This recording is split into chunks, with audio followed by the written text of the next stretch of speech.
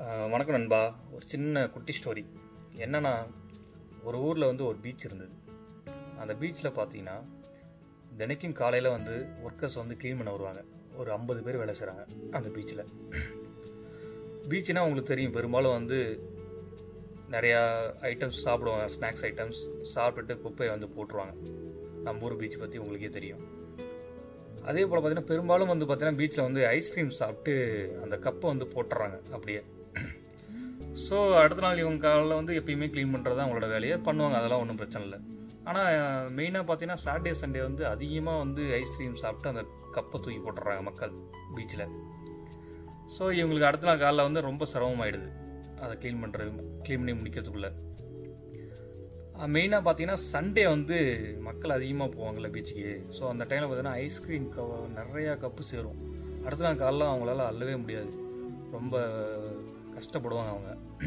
இந்த மாதிரி சூழ்நிலை பார்த்தீங்கன்னா நாளடைவில் பார்த்தீங்கன்னா மண்டே காலைல யாருமே வேலைக்கு வர்றதில்ல. ஸோ அந்த ஒர்க்கர்ஸ் என்ன சொல்லிடுறாங்க? ஏதாவது காரணத்தை சொல்லி லீவை போட்டுறாங்க. ஒரு ஐம்பது பேர் தான் இருக்காங்கன்னா அதில் பாதி பேர் லீவை போட்டுறாங்க. ஸோ பாதி பேர்த்த வச்சு அப்படி அதை க்ளீன் பண்ண முடியும்? அவ்வளோ பெரிய பீச்சை ஸோ இந்த மாதிரி நடந்துக்கிட்டே இருக்குது வார வாரமாக ஒர்க்கர்ஸ் வந்து வரமாட்டாங்க இது இதுக்கு பயந்துக்கிட்டே ஸோ அதுக்கு என்ன ஆஃபீஸர்ஸ் என்ன ஒரு பிளான் பண்ணாங்கன்னா சரி ஒரு மீட்டிங் அரேஞ்ச் பண்ணுவோம். அரேஞ்ச் பண்ணி மக்களை கூப்பிடுவோம் ஒர்க்கர்ஸை கூப்பிடுவோம் எல்லாத்தையும் கூப்பிடுவோம். கூப்பிட்டு எல்லாத்துக்கிட்டையும் கருத்து கேட்போம். கருத்து கேட்டு ஏதாவது ஒரு சொல்யூஷன் கிடைக்குமா இதில் பார்க்கலாம். அவங்க சொல்கிற கருத்துலேருந்து கருத்தோ ஐடியாவோ ஏதோ ஒன்று அதுலேருந்து ஏதோ ஒரு சொல்யூஷன் இது கிடைக்குமான்னு பார்க்கலாம். அப்படின்னு சொல்லிட்டு ஒரு மீட்டிங் அரேஞ்ச் பண்ணாங்க. மீட்டிங் அரேஞ்ச் பண்ணிட்டு அதுக்கு முன்னாடி என்ன சொன்னாங்க? யார் வேணால் தயங்காமல் எந்த ஒரு கருத்தோ ஐடியாவோ சொல்லலாம். அது வந்து நல்லதாக இருந்தால் அது ஏற்றுக்கப்படும் அதை வந்து நம்ம நடைமுறைப்படுத்தலாம் அப்படின்னு சொல்லிட்டு சொன்னாங்க.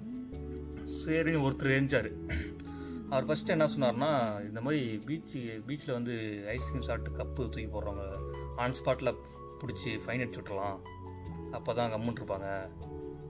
போலீஸ் அரேஞ்ச் பண்ணிடலாம். சண்டே மேக்ஸிமம் நிறையா போலீஸ் அரேஞ்ச் பண்ணிடலாம். கப்பு ஐஸ்கிரீம் கப் சாப்பிட்டு தூக்கி போடுறவங்கள பிடிச்சி ஃபைன் அடிச்சு விட்ருவோம் ஆன் ஸ்பாட்டில் அப்படின்னு சொல்லிட்டு ஒரு ஐடியா சொல்கிறாப்புல ஐடியா ஐடியாவோ கருத்தோ சொல்லிட்டாப்புல. இன்னொருத்தர் என்ன சொல்கிறாருன்னா உள்ளே என்ட்ரி ஆகும்போது ஒரு ஃபீஸ் வாங்கிக்கலாம். அவங்க என்ன சாப்பிட்டாலும் சரி திரும்ப அந்த குப்பை இருக்கும்ல பேப்பரோ குப்பையோ இப்போ ஐஸ்கிரீம் சாப்பிட்டா ஐஸ்கிரீம் கப் இருக்கும்.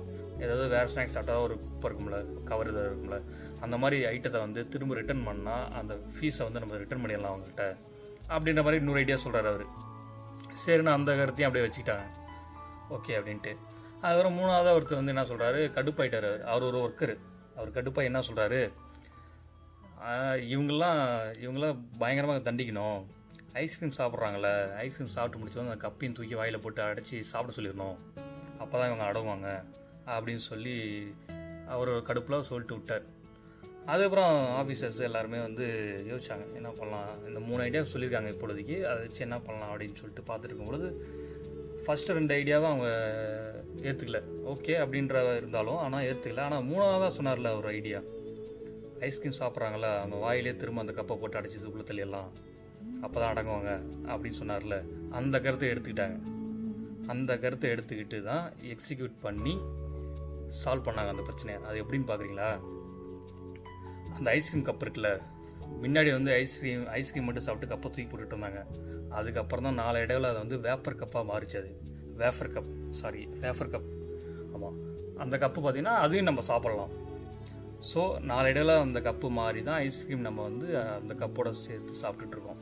ஸோ ஐஸ்கிரீம் சாப்பிட்ருவோம் கப்பையும் நம்ம சாப்பிட்ருவோம் ஸோ இந்த மாதிரி தான் அந்த ப்ராப்ளத்தை வந்து சால்வ் பண்ணி இந்த கப்பு கொண்டாந்துதா நான் கேட்டேன். அதனால தான் அவங்ககிட்ட ஷேர் பண்ணேன் இந்த மேட்டரை ஓகேன்பா எனக்கு இந்த சின்ன குட்டி ஸ்டோர்லேருந்து எனக்கு என்ன தோணுச்சுன்னா நம்ம வாழ்க்கையில் நிறையா பிரச்சனை வரும். அதை சால்வ் பண்ணுறதுக்கு சொல்யூஷன் தேடி அலைஞ்சிட்ருப்போம் ஸோ அந்த சொல்யூஷன் வந்து யார்கிட்டே இருந்து கிடைக்காதா?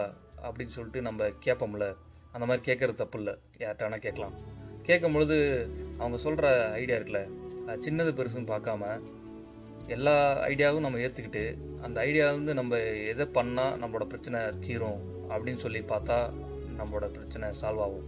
அதனால் வந்து யார்கிட்டயாவது கருத்தோ ஐடியாவோ கேட்கும் பொழுது எல்லாத்தோட ஐடியாவும் வாங்கிக்கிங்க. சின்ன கருத்து பெரிய கருத்து டிஃப்ரெண்ட் பண்ணாமல் சின்ன கருத்தோ இருந்தாலும் பெரிய கருத்தாக இருந்தாலும் அதுலேருந்து எப்படி அந்த பிரச்சனையை சால்வ் பண்ணலாம்? நமக்கு என்ன அதுலேருந்து தேவைப்படுது? அதை மட்டும் எடுத்துக்கிட்டால் ஈஸியாக அந்த பிரச்சனையை சால்வ் பண்ணலாம்.